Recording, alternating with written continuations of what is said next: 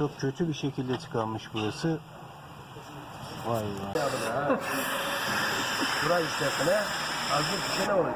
Bu ne ya? Evet arkadaşlar T4 2.5'da sondaj çalışmamıza devam ediyoruz. Ve bu şekilde su bularak su kuyusunu keyiflendiriyoruz. burayı tıkıyor. Bilginiz olsun bu hattın kesinlikle sağlam olması gerekiyor. Volkswagen'in orijinal kelepçelerini sökmek için şöyle düz bir tornavidayı bakın hemen buraya sokuyorum. Hafif ileri geri böyle ittiriyorum. Burayı biraz açtığım zaman kelepçe kendini boşa bırakıyor. Tabi tamamen çıkmıyor. Bu şekilde çıkardım. Şimdi bunu diğer taraftan da sökeceğim. Evet şu aşağıdaki kısım. Orayı da söküp çıkaracağız ve tıkalı mı değil mi bakacağız.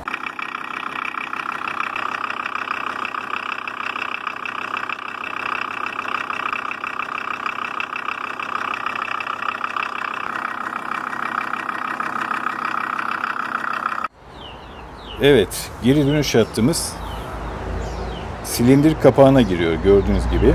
Oradan nereye gidiyor? Hemen yedek su deposuna. Tabii şuradan biz onu çıkardık. Ben çıkardım bunu. Sonrasında buraya verdim. Bakın gayet temiz gördüğünüz gibi. Şimdi bu hattan su gelmesi lazım. Şimdi zaten göreceksiniz. Hemen çıkaralım.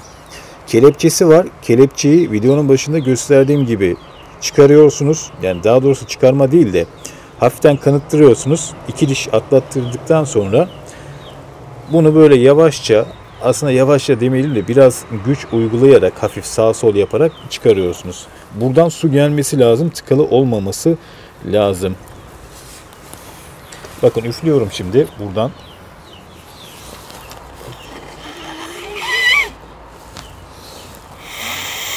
Evet hat tıkalı değil.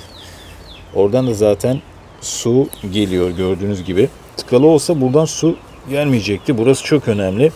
Bu şekilde ben test ettim. Burası temiz. Burası genellikle niye tıkanıyor? Eğer araçta hiç antifriz kullanmasanız tıkanabiliyor. Ya da diyelim termostattan suyu boşalttınız, yeniden antifriz vesaire eklediğiniz zaman tortular gelip burayı tıkıyor. Bilginiz olsun bu hattın kesinlikle sağlam olması gerekiyor. Buradan bu hortuma üflediğiniz zaman diğer taraftan eğer hava çıkışı daha doğrusu su çıkışı olmuyorsa o zaman burası özellikle hortum tıkalıdır. Ne yapacaksınız? Hava tabancasıyla hortumun bu kısmından, giriş kısmından hava vererek çıkış kısmından pisliklerin çıkmasını sağlayacaksınız arkadaşlar. Bu şekilde ben yeniden bunu test ettim. Daha önce tıkanmıştı. Herhangi bir sorun yok. Zaten hortumu çıkardığım an görüyorsunuz buradan su hemen gelmeye de başlıyor.